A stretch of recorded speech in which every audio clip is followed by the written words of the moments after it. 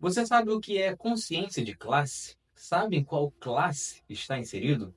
Este é um tema que todo trabalhador deveria estar atento, independente de ideologia.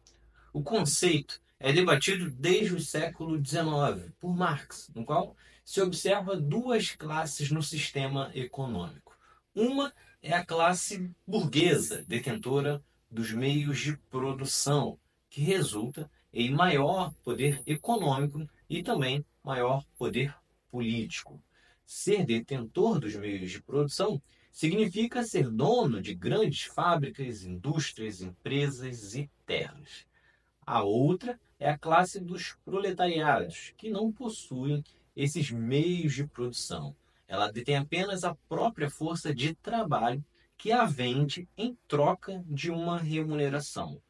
E essas duas classes possuem interesses antagônicos. Os burgueses buscam maximizar os lucros e muitas das vezes fazem isso buscando pagar salários mais baixos ou demandando um volume de trabalho maior do proletariado para que seja gerada mais riqueza. Do outro lado, estão os proletários, que buscam melhores condições de trabalho e salários mais altos, para que possam ter uma vida mais saudável. O que acontece é que a classe possuidora dos meios de produção consegue dominar a classe que não possui, principalmente porque eles detêm os meios de produção, logo, os locais de trabalho.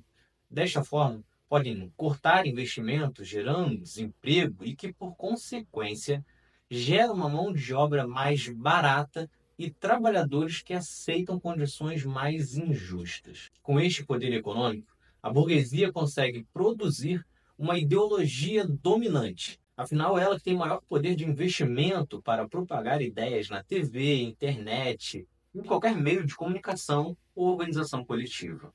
Não é à toa que tem tantos proletários que compartilham os discursos da burguesia. Entre as estratégias está a mais tradicional, de dizer que o, se o trabalhador abrir mão de direitos, terá melhores salários. Outra estratégia é dividir a classe trabalhadora, seja por questões econômicas ou pautas sociais. A burguesia também consegue o poder político, novamente, são os que possuem maior capacidade de investimento para financiar campanhas que atendam aos seus próprios interesses, ou até mesmo para eles próprios se lançarem na política.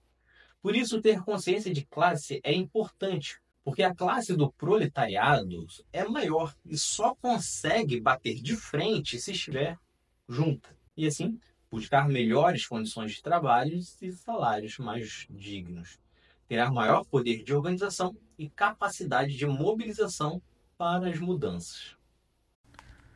Gostou desse vídeo? Então se inscreve no canal e confira agora outros episódios do outro lado da história.